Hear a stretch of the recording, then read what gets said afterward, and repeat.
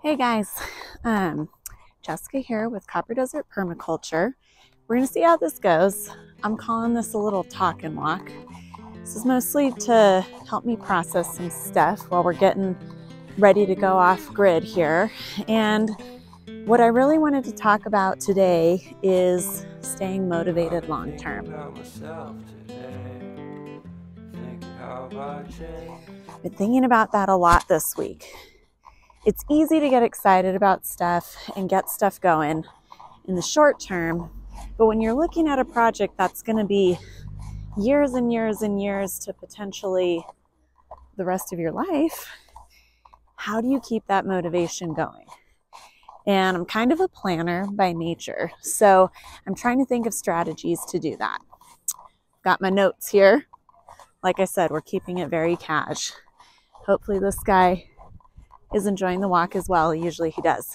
So, the first thing I was thinking about is saying it out loud, which is basically a big part of what this channel is for me is saying what we're going to do out loud. It's also kind of a fake it till you make it thing. I'm not pretending to be any kind of expert here. We're learning as we go along. But if you say things like, I'm a homesteader, I'm moving to go off grid, it kind of helps to create that reality because you start thinking of yourself in that light, right?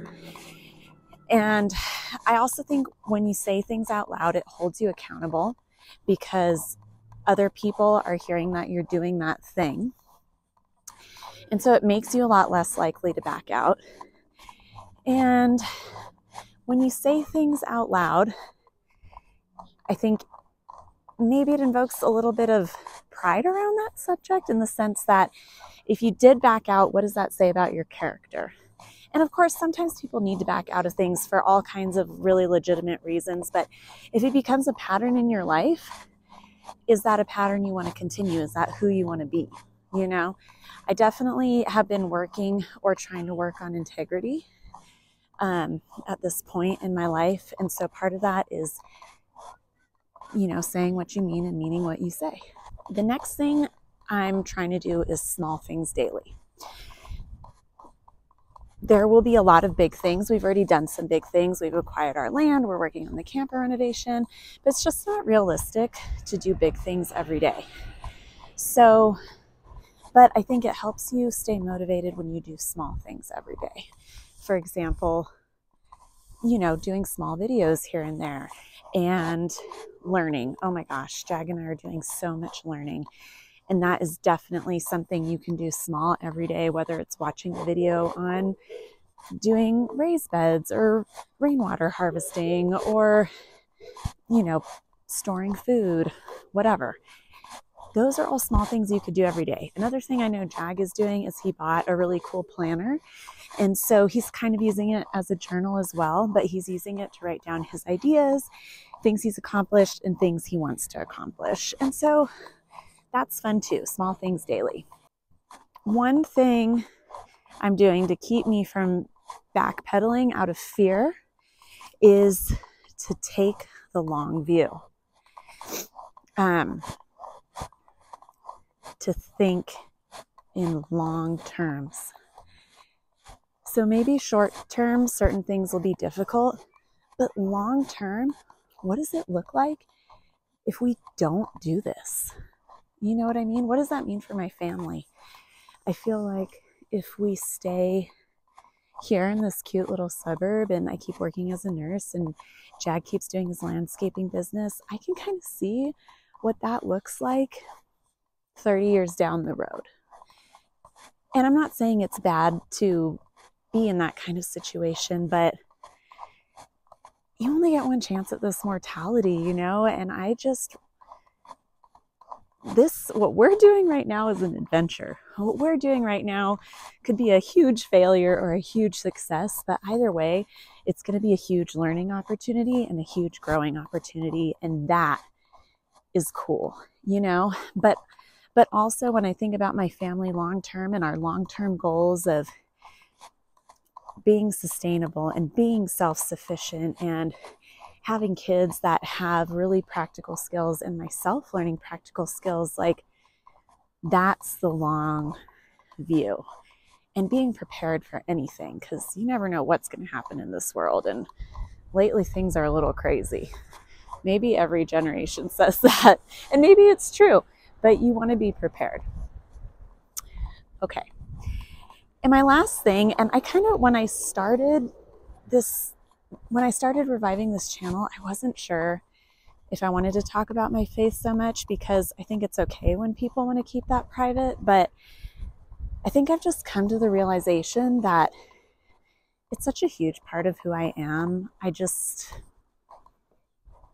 I've got to talk about it because it's a huge part of how I act, what I think, what I do, and obviously what I believe every day. So, the other thing I'm doing in the long run is praying about it earnestly. And when I say prayer, I mean having a conversation with my Heavenly Father. I think sometimes when people pray, it ends up being, and I'm totally guilty of this, but it ends up being a laundry list for God. God, please don't let it be expensive when we go to get the van fixed. Heavenly Father, please let my kids have friends at school and make sure that this happens and this happens and this happens. But that's not a conversation. Conversation, by definition, is two way. So, yes, you can take, I think it's more important to take your questions to the Lord than to take your requests. And I'm not saying you can't pray for something specific, but keep in mind it's a conversation. So when I start doubting, I have to remember the reason that I first, like what catalyzed this journey in the first place. And that was me feeling very strongly moved by the Spirit that it's time to move to somewhere where we can be self sufficient in nature, prepared. And so when I start feeling doubtful, I just I pray and I say, Lord, am I am I still on the right path? Is this what we're meant to do?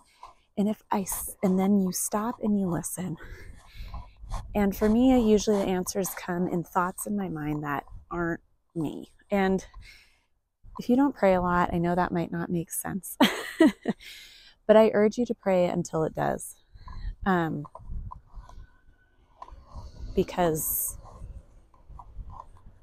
you know back to my one of my previous reasons what if you don't you know and i spent a lot of my life being agnostic to atheist and that did not work for me.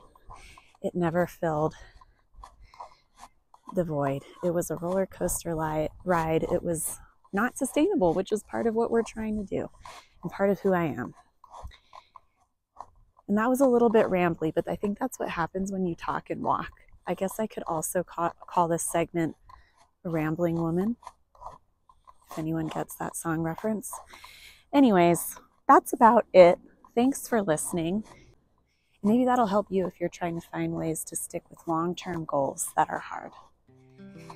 All right, guys, thanks for watching. Like, subscribe, and share. And I'm going to go get my kid from soccer practice. Okay, bye.